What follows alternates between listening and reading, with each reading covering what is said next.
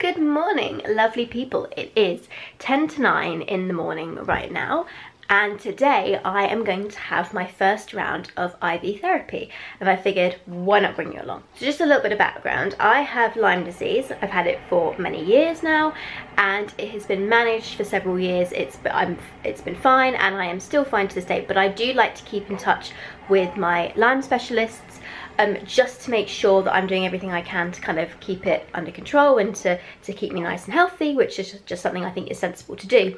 And uh, this last year I saw my specialist again and she recommended that I try a course of this uh, IV therapy. In particular, this is an immune boosting IV therapy. And so originally I was thinking of doing this back in March and then things just got really busy. One thing was happening after another, I just never had time for it.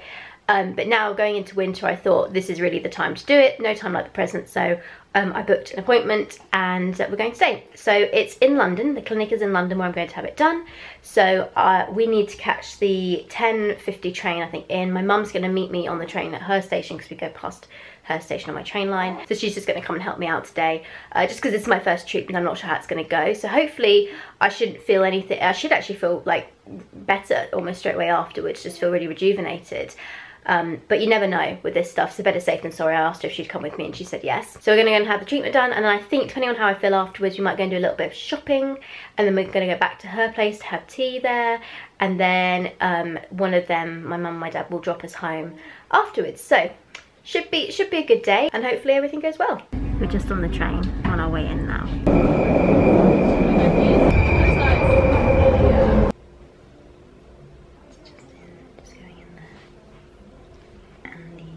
So little update, I finished my treatment, we're back on the train now.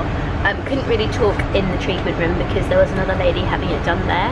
Um, so I just kind of briefly showed you what was there. But when I get back to uh, my parents' house, I'll give you a full update then. So as you guys can probably tell, I'm currently back at my parents' house and I figured while my small one was having a nap, this would be a good time to catch you up on what happened today and how I feel after the treatment. So I think I spoke earlier on in the video about why I decided to have this, but just kind of basically to recap again, my Lyme specialist had recommended it as just another way to kind of maintain my how well I'm doing with my Lyme because it's been under control for a while now and I felt really great. So this was like another suggestion just to kind of boost things up. And I actually had this suggestion given to me back at the beginning of the year but then like things were because it was COVID then things were really hectic uh, just busy with business and other stuff. And then I just decided actually there's never going to be a perfect time to do this. I'm just going to go ahead and book it. Particularly going into winter, this seemed like a good time to have it because the type of IV therapy I was recommending was immune boost therapy because my immune system is it's, it's okay, but it's not the best. And uh, winter tends to be where all the winter bugs are around, so it just seemed like a good a good time to do it. So I booked it, and as I said, I asked my mum to come along with me today to help me because I tend to react to things quite easily, and I just wanted to have another person there to, to in case I had a reaction. So you just it's just more reassurance than anything. So on to the treatment itself. When I was actually at the clinic, I was in a room and there was another lady at the end having treatment, so it was and it was like a nice quiet environment so I didn't really talk on the camera as much when I was showing you what the setup was because I didn't want to disturb her treatment.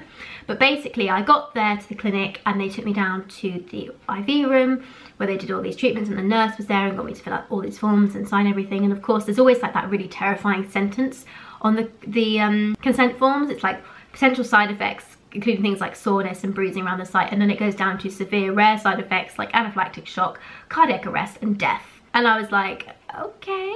I mean, I know they have to put that there, but it's still a bit like unnerving. Of course, once I'd signed all the consent forms, she came and she put pillow under my arm and uh, she asked me if I wanted to have it in my hand or in my elbow. Now, when I've previously had IVs done, not I've not had IV therapy before. I had an IV put in when I was admitted to hospital a couple of years ago, and they did it in my my hand that time. And I remember it was it was quite like it didn't hurt but it was uncomfortable and it felt really cold. Like I could feel the fluid going in it was cold.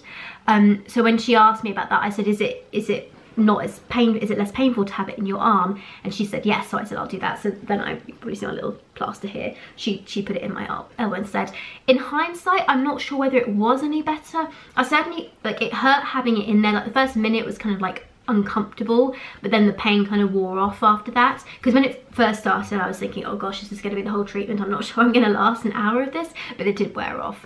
Um, and I couldn't feel it going in. That was good. I didn't have like the cold arm sensation that I'd had previously. But then I was stuck with my arm like on a pillow like this. I couldn't really move or do anything else. Whereas I think if I'd had it in my hand, I could at least have moved my elbow and maybe held a book or something. So anyway, she started the treatment and to begin with, like I felt pretty fine everything. And then I think like 15 minutes towards the end of my treatment, I started to feel a little bit lightheaded and a bit nauseous. Now, nausea is like my default um, reaction to things when I when I have a reaction to any medication or treatment or anything. I just if I'm not feeling great, I almost always go nauseous. It's really annoying. It's one of the things like I call it the like the relics from Lyme that I still have, where I just get nauseous so easily. Uh, it's really unpleasant, but that it, it's not an unusual reaction for me. Because I didn't have my book, I had ended up watching um, It's Budget Day currently here in the UK, so the Chancellor's been like announcing the budget and it just so happened that while I was having my treatment he was giving his speech in the House of Parliament so I thought well I'll just watch that live on BBC News because I have my headphones and I didn't really have anything else to do because I hadn't got my book. But I'm wondering if that also might have made me feel a bit ill just watching on such a small screen. So I'm not, again, I'm not entirely sure if it was just that or just the treatment or a combination of both that made me feel a bit ill. But I definitely wasn't feeling so great towards the end of it.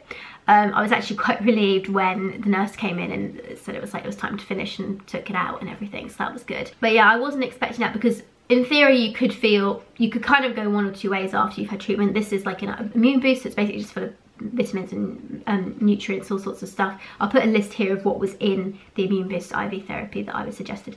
And um, so a lot of people feel really great and rejuvenated after they've had it but for me I never seem to react to things normally so I felt pretty grim afterwards. Because of COVID my mum couldn't actually come into the clinic with me so she had waited, uh, she'd gone to a cafe actually and waited there and then she came up to meet me at the clinic and we then um, I said to her, I think I just need to walk around a bit. So we walked up um, one tube, so we didn't go to the tube station we came to, we walked up to one more one further along so I could have some fresh air and everything. And the other thing I did was I bought a bottle of coke which felt so counterproductive after having just had this like really healthy you know health boosting nutrient therapy uh, to go and buy Coca-Cola. But actually when I'm feeling sick coke is one of those things. You shake a bottle of coke and get the, the fizziness out and it, it is one of those things that can really settle your stomach well. It's always worked well for me. And in this instance it also made me feel better quite quickly. So it was actually the right thing to do in terms of that but yeah, it wasn't a particularly pleasant feeling at the end. I think one of the other problems was I also needed the loo towards the end of my treatment.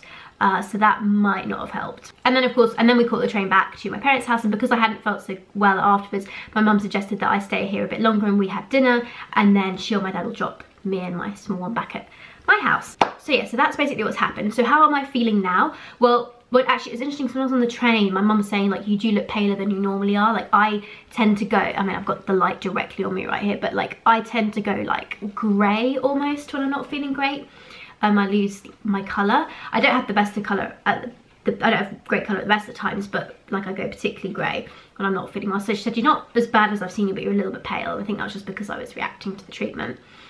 Um, which could be a good thing you know, could be kicking in and doing something. So some of the immediate effects that I have seen, obviously aside from that kind of negative side effect, uh, when I went to the toilet, I have had a bit of, it's not really constipation the last few weeks or so, but it's not been easy, but definitely like almost straight after the treatment, it was, I went to the toilet and I went very easily. And the other thing was, I don't know if you could see when I actually had the therapy done, but the fluid coming down the IV drip, it's like a bright yellow colour. It's kind of, it's quite funny looking, but it's, it's a bright yellow colour. And my pee is bright yellow as well. so it's definitely gone through my system because it's never been that colour before. It was like, wow. But aside from that, we're only, well, it's basically four o'clock now and I had the treatment done and at 12.30 it finished around 1.15 so it's about two two to three hours since treatment now. So anyway i will keep you guys informed. Uh, if you want to follow me on instagram i'll probably post some updates over there about how i'm feeling how i'm reacting to this over the next few days. But it is kind of like an accumulative thing so you're supposed to have a number of treatments but one should be enough for you to get a sense of does it have any improvement. So be interesting i think to see how i feel tomorrow particularly once this has had a time to kind of go through me and my body's had time to adjust to having all this stuff in it so yeah, we'll see. Just wanted to give a bit of an update on how it went and feeling right now. Now I'm to go downstairs and just spend some time with my family. So it is now 8 o'clock at night, just 10 past 8. I just wanted to come and do a quick update. So my treatment finished at about quarter past 1 this afternoon. Like I told in the last clip, I explained how I was feeling immediately after that. Then after I filmed the last clip I just did, I started to feel a little bit tired. um, just a bit on the kind of dozy side. I didn't have a nap, but I had a bit of a rest just while I was at my parents' house and um, before we had dinner. And then in the afternoon, my mum gave me a bit of a snack, which was like parmesan, balsamic vinegar, and breadsticks wrapped in parmesan, so like salty stuff. And I definitely perked up after that. And actually, I've been feeling since I had that bit of a rest, I'm feeling much, much more alert and awake, and I feel much better now. Kind of feel like I'm getting almost a second wind. So, I guess the real test of this will be how I feel tomorrow and over the next 24 or 48 hours because that's when this stuff kind of really starts to kick in and to see if there's any effect then. So obviously I need to get this video, this Wednesday tonight. This video needs to go live on Thursday, which is tomorrow. So I need to finish this up now and go and edit it. But I will keep you guys informed um, on my Instagram if you want to follow me. Um, if you want to know what, how I feel over the next few days, I'll keep a little bit of an update over there. And obviously maybe I'll update in another vlog that I do next week. It'll be a sit down video, I think.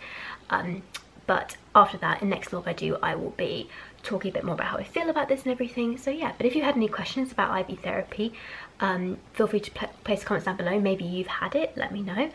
I'd be really curious to know everyone's experiences and stuff. But so far, it's been um, just my first treatment, so we'll see how it goes. Whether I want to do it again or not, I don't know. Right now, we'll have to have to wait and see.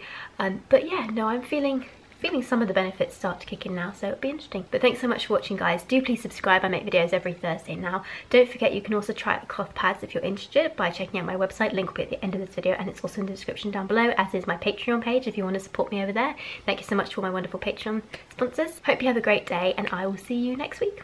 Bye everyone